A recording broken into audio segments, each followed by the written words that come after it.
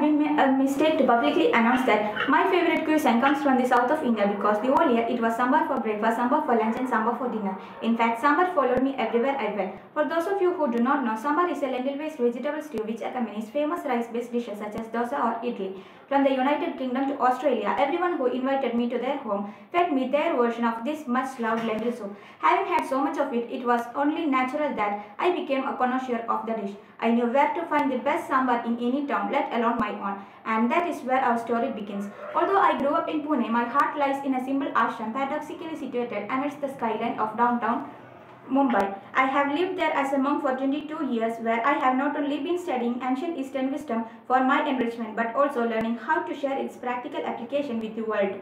People who attend my lectures regularly invite me to have lunch at their homes but to their disappointment I usually decline. As a monk I have to be cautious of our overindulgence.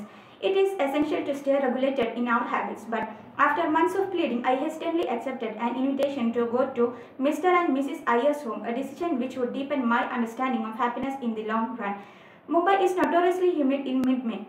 It is the type of sticky humidity in which your sweat causes your shirt to stick to your back. But one only felt like that at sea level, not in the cloud-bound apartment of Hariprasad and Lalita Iyer situated in a high rise in elegant Worli. This area of Mumbai is what Fifth Avenue is to New York or Park Lane is to London. Indeed, if there were a version of the board game Monopoly for Mumbai, you would be paying a hefty price if you landed on Worli's Distinguished Towers, Palais Royale on Omkara in 1973. And here, I was a monk with hardly a rupee to my name, enjoying the cooling breeze from the Arabian Sea on the 28th floor, home of my gracious hosts. A word of caution, I have changed the names in this story. This adjustment is not only to be sensitive toward the couple whose secrets I am about to share, but also to avoid offending those who have ever fed me sambar that didn't live up to the standard set by the Iyers. The lunch started with me getting confused. I had never eaten sambar solely with a spoon, let alone three. They sat me at the head of their rich oak dining table which overlooked the another hot dosa. They lovingly smiled at each other. I noticed that he indeed looked like an elegant statesman in his Gucci attire. What about your mother? I asked. My mother stayed at home with us. She picked us up from school, cooked all our meals, and was our counselor when times were hard.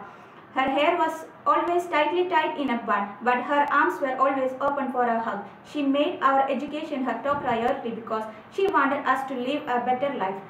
Well, it seems like you are living it now, I said. Hariprasad took no notice of my comment and continued. I remembered